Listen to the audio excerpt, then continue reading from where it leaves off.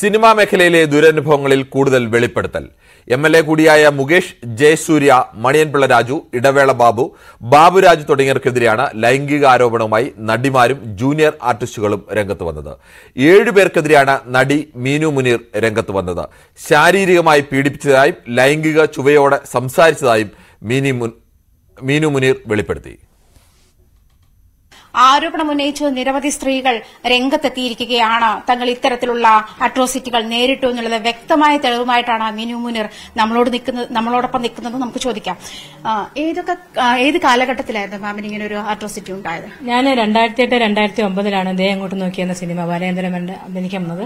അന്ന് അതിനു മുമ്പ് ഞാൻ ദുബായിൽ വർക്ക് ചെയ്യായിരുന്നു. അപ്പോൾ അവിടെ നേരെ സെക്രട്ടേറിയറ്റിലോട്ടാണ് വന്നത്. സെക്രട്ടേറിയറ്റിൽ വെച്ചായിരുന്നു ഈ ഷൂട്ടിങ്. അപ്പോൾ അവിടുത്തെ ടോയ്ലറ്റിൽ പോയിട്ട് ഞാൻ ഇറങ്ങിയിട്ട് സാരി ഞുറച്ചിലെങ്കിലും പിടിച്ചിട്ട് പുറകിൽ നിന്ന് പെട്ടെന്ന് ഒരാൾ കയറി കെട്ടിപ്പിടിക്കും. നമ്മൾ പേടിച്ച് പുറകോട്ട് നോക്കിയപ്പോഴത്തേക്ക് ആ ജയസൂര്യ ആയിരുന്നു ജയസൂര്യ പെട്ടെന്ന് ഉടനെ തന്നെ ഞാൻ ലിപ്സ് കിസ് ചെയ്യുകയും അങ്ങനെ പിടിച്ചിട്ട് പിടിച്ചോണ്ട് ഞാൻ തള്ളി മാറ്റിയിട്ട് ഓടിപ്പോയി താഴെ ഓടിപ്പോയി. അപ്പം ജഗതി ചേട്ടൻ was very decent and was very genuine and I was very comfort with Jagathi ചേട്ടൻ അടുത്ത്. So I thought I can share with him ഇതെന്തോ അപ്പൊ നമ്മൾ ആദ്യമായിട്ട് സിനിമയിൽ വന്നപ്പോൾ ഇതാണോ സിനിമ? ഇങ്ങനെയൊക്കെയാണോ സിനിമ? അല്ലേ? അങ്ങനെ ഒരു തോന്നലും ഒരു പേടിയും. അപ്പൊ അത് അപ്പോഴത്തേക്കും പുള്ളിക്കാരൻ എന്റെ പുറകെ ഓടി വന്നു. അരജി സൂര്യൻ എന്നിട്ട് പറഞ്ഞു മീനു എനിക്കൊരു ഒരു കാര്യം ചോദിച്ചാൽ എസ് ഓർണോ എന്ന് പറയാൻ പറഞ്ഞു. അപ്പൊ എന്താന്ന് വെച്ചപ്പോഴത്തേക്ക് പറഞ്ഞു എനിക്ക് ട്രിവാൻഡ്രത്ത് ഫ്ലാറ്റ് ഉണ്ട്. എനിക്ക് അവിടെ മിനു വരുവാണെങ്കിൽ മിന്നു പല നേട്ടങ്ങളുണ്ടാവും. അപ്പൊ ഞാൻ പറഞ്ഞു. അതിനുശേഷം പുള്ളിക്കാരൻ ഇത് ചെയ്തിട്ടില്ല. അപ്പൊ ഇത് ആരോപണമാണ്. ആളുകൾ പുറത്തു വരട്ടെ. ഇതൊക്കെ കെട്ടിച്ചമിക്കുന്ന കഥകളാണെന്നാണ് മുകേഷ് നേരത്തെ ഇങ്ങനെ ആരോപണം ഉന്നയിച്ച് വന്നവർക്കെതിരെ പറഞ്ഞത്. മാമിനും അത്തരത്തിലൊരു ആരോപണം പുള്ളിയോട് പുള്ളിക്കെതിരെ പറയാനുണ്ട്. ആരോപണം തീർച്ചയായിട്ടും. കാരണം ഞാൻ ഒരു വ്യക്തിമാണല്ലോ ഞാൻ ഒരുപാട് മെന്റൽ ടോർച്ചറും മെന്റൽ അഗ്നിയും ഞാൻ സഫർ ചെയ്തതാണ്. കാരണം സിനിമാ ഫീൽഡിൽ ഞങ്ങളൊക്കെ ഒത്തിരി ആഗ്രഹങ്ങൾ ഒരുപാട് ആഗ്രഹങ്ങളൊക്കെ ആയിട്ട് വന്നവരാണ് ഞങ്ങൾ പക്ഷെ അതിനുള്ളൊരു സാഹചര്യം ഞങ്ങളുടെ ആ ഒരു സ്വപ്നത്തെയാണ് അവർ തകർത്ത് കളഞ്ഞത് ഇവർ. അപ്പം അവർക്കിനി അഭിനയ അഭിനയിക്കാൻ ഈ ബെഡ് ഷെയർ ചെയ്യാൻ പറ്റാത്തതിന്റെ പേരിൽ അവരെ അതിന് വിളിക്കേണ്ട ഒന്നിനും വേണ്ട. അങ്ങനെയുള്ള രീതിയിൽ ഞങ്ങളെ ആക്ഷേപിക്കുകയും പലരുടെ മുമ്പിലിട്ടിട്ട് കളിയാക്കുകയൊക്കെ ചെയ്തുകൊണ്ട് തന്നെയാണ്. പിന്നെ അമ്മയിൽ മെമ്പർഷിപ്പും തരാൻ തയ്യാറായില്ല ബെഡ് ഷെയർ ചെയ്യാത്തതുകൊണ്ട് അതുകൊണ്ട് ഞാൻ മലയാള ഫിലിം തന്നെ വിട്ടിട്ട് ഞാൻ ഇവിടുന്ന് പോവുകയത് ഷിഫ്റ്റ് ചെയ്ത് ചെന്നൈക്ക് പോവുകയത് ഈ അമ്മയുടെ മെമ്പർഷിപ്പുമായിട്ട് ബന്ധപ്പെട്ടുള്ള ആപ്ലിക്കേഷനുകളൊക്കെ ഫോർവേഡ് ചെയ്യുന്ന ഒരു സാഹചര്യത്തിൽ മുകേഷ് മാമിനോട് പറഞ്ഞത് എന്താണ്? ആ അത് ശരി അമ്പിടി കള്ളി. നീ ഞാൻ അറിയാതെ അമ്മയിൽ നുഴഞ്ഞു കയറാമെന്ന് നോക്കിയോ? നിനക്ക് ആർക്കും നിനക്ക് കൊടുക്കാൻ പറ്റത്തില്ല നീ കൊടുക്കത്തില്ല നീ കൊടുക്കണ്ട ആർക്കും കൊടുക്കണ്ട. നീ മെഴുകുതിരിയുടെ വാസ്ക് വെച്ച് അവിടെ അങ്ങ് അടച്ചു വെച്ചോളെ ആർക്കും കൊടുക്കണ്ട. ആ ഞാൻ അറിയാതെ മലയാള സിനിമയിൽ ഇല അനങ്ങല്ല എന്ന് പുള്ളിക്കാരൻ പറഞ്ഞപ്പോൾ എനിക്ക് മനസ്സിലായി അയ്യോ ഇവിടെ നിന്നിട്ട് ഇനി കാര്യമില്ല. കാരണം എനിക്ക് അമ്മയിൽ മെമ്പർഷിപ്പ് ഒന്നും കിട്ടത്തില്ല. ഇനി വന്ന സിനിമകളൊന്നും കാരണം ഇവരുടെയൊക്കെ ഭാര്യമാരായിട്ടൊക്കെയല്ലോ വിളിക്കുന്നത്.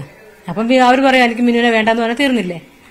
അമ്മയുടെ മെമ്പർഷിപ്പായിട്ട് ബന്ധപ്പെട്ട് പറയുമ്പോഴാണ് ഈ ഇരുപത്തഞ്ച് വർഷം അമ്മയുടെ ജനറൽ സെക്രട്ടറി ആയിരുന്ന ആളാണ് ഇവിടെ ബാബു അപ്പോൾ അദ്ദേഹവും ഇത്തരത്തിൽ സമീപിച്ചു എന്നൊരു ഇതും കൂടി കേട്ടിട്ടുണ്ട്.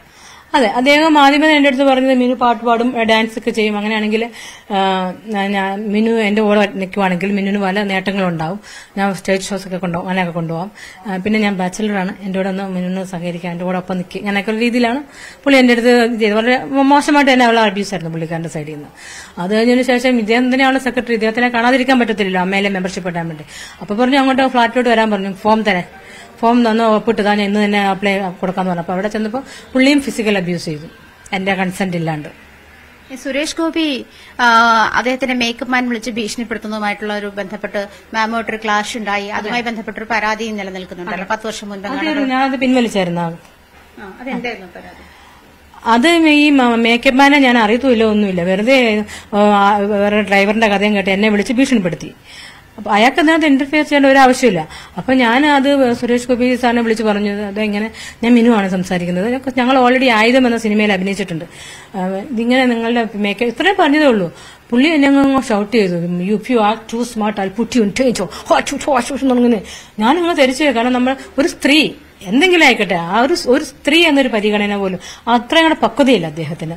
അദ്ദേഹം ഉടനെ എന്താണ് മിന്നുവിന്റെ ആവലാതി? അത് കേൾക്കാൻ പോലും തയ്യാറാകാതെ എന്നെ എന്തൊക്കെയോ കൊടുന്നുണ്ടെങ്കിൽ ഫയർ ചെയ്തു പുള്ളിക്കാരൻ. അപ്പം അതിനുശേഷം ഞാൻ കംപ്ലൈന്റ് കൊടുത്തു. അദ്ദേഹത്തിനെതിരെ കൊടുത്തില്ല.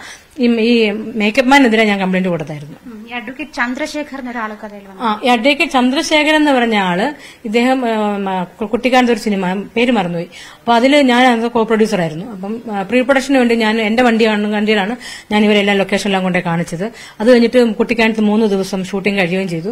മൂന്ന് ദിവസം കഴിഞ്ഞത്തേക്കും ഈ അഡ്വക്കേറ്റ് ചന്ദ്രശേഖരൻ പറഞ്ഞു മിനു പ്രൊഡ്യൂസർ വന്നിട്ട് നമുക്ക് വന്ന് ലൊക്കേഷൻ ഒന്ന് കാണാം എന്ന് പറഞ്ഞു. അപ്പൊ ഞാൻ ലൊക്കേഷൻ കാണാമല്ലോ അപ്പൊ അവിടെ ചെന്നപ്പോൾ ഒരാളെ പരിചയ ഒരാളുടെ റിസോർട്ടിനകത്ത് കെട്ടിക്കൊണ്ടുപോയി. അവിടെ കൊണ്ടിരുത്തിയിട്ട് ഇയാൾ പെട്ടെന്ന് അപ്രത്യക്ഷമായി ഈ അഡ്വക്കേറ്റ് ചന്ദ്രശേഖരൻ. അപ്പൊ ഞാൻ അവിടെ തന്നെ ഇരുന്ന് സംസാരിച്ചു. അപ്പം അന്ന് ഉച്ച കഴിഞ്ഞായിരുന്നു. അപ്പൊ പിള്ളേർ വരേണ്ട സമയമായപ്പോഴത്തേക്ക് ഞാൻ പറഞ്ഞു സാറേ പിള്ളേർ വരേണ്ട സമയമായി ഞാൻ ഇറങ്ങട്ടെ എന്ന് പറഞ്ഞു. മറ്റേ അഡ്വക്കേറ്റിനെ കാണാനുമില്ല പുള്ളി വന്നാൽ ഞാൻ പോയെന്ന് പറഞ്ഞേരെ എന്ന് പറഞ്ഞ് ഇറങ്ങുമ്പോഴത്തേക്ക് ഇദ്ദേഹം പറഞ്ഞു "അയ്യോ, അങ്ങനെ പോകല്ലേ അങ്ങനെ പോകാനല്ലല്ലോ വന്നെന്ന് പറഞ്ഞു ഇദ്ദേഹം കയറി എന്നെ ഇങ്ങനെ തോളത്തൊക്കെ കെട്ടി ഇങ്ങനെയൊക്കെ പിടിച്ച് തലയിലൊക്കെ ഇങ്ങനെ. അപ്പൊ ഞാൻ പെട്ടെന്ന് പെട്ടെന്ന് ഇങ്ങനെ പതുക്കെ പതുക്കെ ഇതെന്താ നമ്മൾ അൺഎക്സ്പെക്ടഡ് ആണല്ലോ. പക്ഷെ ഇയാളെ തെറ്റിദ്ധരി തെറ്റിദ്ധരിപ്പിച്ചേക്കോ ഈ പുള്ളിക്കാരൻ അഡ്വക്കേറ്റ് അപ്പൊ പറഞ്ഞു, ഞാൻ വേറെ ലൊക്കേഷൻ കാണാനാണ് എന്നെ വിളിച്ചോണ്ട് വന്നത്. വേറെ ഒന്നിനും സാർ എന്നെ തെറ്റിദ്ധരിച്ചിരിക്കുകയാണ്. ഞാൻ അങ്ങനെ അറിഞ്ഞിട്ടേ ഇല്ല.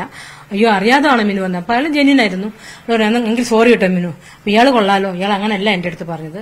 എന്ന് പറഞ്ഞിട്ട് അങ്ങനെ. അപ്പൊ അതിനെ കൊണ്ട് കൂട്ടിക്കൊടുത്തു. ഒരു അഡ്വക്കേറ്റിനെ ചേർന്ന പണിയാണോ? കൂട്ടിക്കൊടുക്കുക ഒരു പണിനെ കൊണ്ടുപോയിട്ട്. പിന്നെ ഈ പ്രൊഡക്ഷൻ കൺട്രോൾമാർ രണ്ടുപേരുടെ കാര്യം പറഞ്ഞു. ആ അത് നോബിൾ.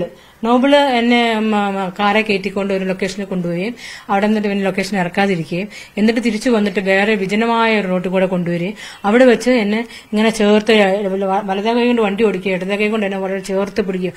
ഒരുപാട് സ്ട്രഗിൾ ചെയ്തു ഏറ്റവും അവർ സ്ട്രഗിൾ ചെയ്യപ്പെട്ടത് ഈ നോബിളിന്റെ കൈ കിടന്ന കാരണം അയാളുടെ കരബലത്തിൽ നിന്നൊന്ന് രക്ഷപ്പെടാൻ കാരണം ഒന്നാമത്തെ ഗിയർ ബോക്സ് ഒക്കെ വയറിനടിക്കുന്നുണ്ടായിരുന്നു. നല്ല വേദനിക്കുന്നില്ല അറിയില്ല ആ ഇടക്കിട്ട് ഇങ്ങനെ പിടിക്കുമ്പോഴേ നമ്മൾ ചിരിച്ചു പിടിക്കുമ്പോഴേ അത് കഴിഞ്ഞിട്ട് ഞാൻ പിന്നെ കാറിന്റെ ഡോറിട്ടൊക്കെ ഞാൻ ചവിട്ടി ഞാൻ കാറും ചാടും ചാടും വിട് വിട് എന്നൊക്കെ പറഞ്ഞിട്ട് ഡോറൊക്കെ തുറന്നു. വണ്ടി ഓടിക്കൊണ്ടിരിക്കുന്ന വണ്ടിയിൽ നിന്ന് കാറിന്റെ ഡോർ തുറന്നപ്പോൾ അയാൾ വണ്ടി നിർത്തി. എന്നിട്ട് പിന്നെ ഞാൻ ഇറങ്ങി ഇറങ്ങിയിട്ട് ഓടാനെന്ന് വിചാരിച്ചപ്പോൾ എന്തുവാ? അത് വിജനമായ ഒരു കാടാ. ഞാൻ ഓടിയ എവിടെ പോയി നിൽക്കാനാ അപ്പൊ അതുകൊണ്ട് ഞാൻ പറഞ്ഞു എന്നെ എവിടെ കയറ്റി എന്നെ അവിടെ തന്നെ കൊണ്ട് നിർത്തണം. നോബിൾ കളിയെടുക്കരുത് കളിയെടുക്കരുത് അപ്പോൾ പുള്ളി കുറച്ച് കാമായി. ആദ്യം ഒരു വെപ്രാണം കാമ വെറിയില്ലേ? അതിലായിരുന്നു പുള്ളിക്കാട് മണിയമ്പിള്ള രാജുവിനെ പറ്റിയും പറഞ്ഞിരുന്നല്ലോ. ആ. അദ്ദേഹം ഏത് ഏത് തരത്തിലാണ്? അദ്ദേഹം വെർബലായിരുന്നു വെർബലായിരുന്നു ഞാൻ റൂമിൽ വരും. ഒന്ന് റൂം തുറന്നിടണം. ഞാൻ മിനിന്റെ റൂമിൽ വരും. ഞാൻ തുറന്നിട്ടില്ല. അപ്പൊ അന്നേരം എന്നെ മറ്റുള്ള മുമ്പ് വെച്ച് എന്നോട് ദേഷ്യപ്പെടുക കാരണമില്ലാതെ എന്നോട് ദേഷ്യപ്പെടുകയൊക്കെ ചെയ്തു. പിന്നീടുള്ള സെറ്റ് വർക്കുകളിലൊക്കെ ആ. അത്തരത്തിൽ അതിനോട് ദേഷ്യപ്പെടുകയൊക്കെ ചെയ്തു. ആ പുള്ളി ലൈംഗികമായിട്ട് ആൾ ആഗ്രഹം ഒരു നടത്തി. പിന്നെ അതിന്റെ ഹരാസ്മെന്റ് നടന്നു അത്രേ ഉള്ളൂ. മെന്റൽ മെന്റൽ ടോർച്ചറാണ് മെന്റൽ ടോർച്ചറിങ് പിന്നെ അപ്പൊ നമുക്ക് നമ്മൾ അഭിനയിക്കാൻ വന്നതല്ലേ? നമുക്കൊരു നല്ല ഒരു ഇത് പറഞ്ഞല്ലോ അഭിനയിക്കാനാണെങ്കിലും അപ്പൊ ആ ഒരു നഷ്ടപ്പെടുത്തി കളഞ്ഞു പുള്ളിക്കാരൻ. പിന്നെ നമ്മൾ ചമ്മലായപ്പോ എല്ലാവരുടെ മുമ്പിൽ വെച്ച പുള്ളി എന്നെ വഴക്ക് പറഞ്ഞു. ആ ഇങ്ങോട്ട് പറയും ഇങ്ങോട്ട് പറയും അങ്ങനെ അപ്പൊ എല്ലാവരും വിചാരിച്ചു ഞാനെന്തോ വലിയ ഗുരുതരമായ തെറ്റ് ചെയ്ത പോലെ വിച്ചു എന്ന് പറഞ്ഞ പ്രൊഡക്ഷൻ കൺട്രോളർ ഇപ്പൊ ഈ കഴിഞ്ഞ മാസമാണ് വിളിച്ചത്. ബിന്ദു പണിക്കറിന്റെ പോലത്തെ ഒരു ക്യാരക്ടർ ചേച്ചിക്കുണ്ട്. ചേച്ചിക്കല്ല താൻ. അയാൾ ഞാൻ ഈ വിച്ചു എന്ന് പറഞ്ഞ ആളെ ഞാൻ കണ്ടിട്ടില്ല എനിക്ക് അറിയില്ല. എന്നിട്ട് പറയാം എടോ എടോ താനാ വിളിച്ചത്? ഞാൻ പറഞ്ഞ അല്ല ഈ താൻ എടോ എന്നുള്ള വിളി മാറ്റിയിട്ട് പേര് വിളിക്കും. കാരണം ഞാൻ രണ്ടു കുട്ടികളുടെ അമ്മയാണ്.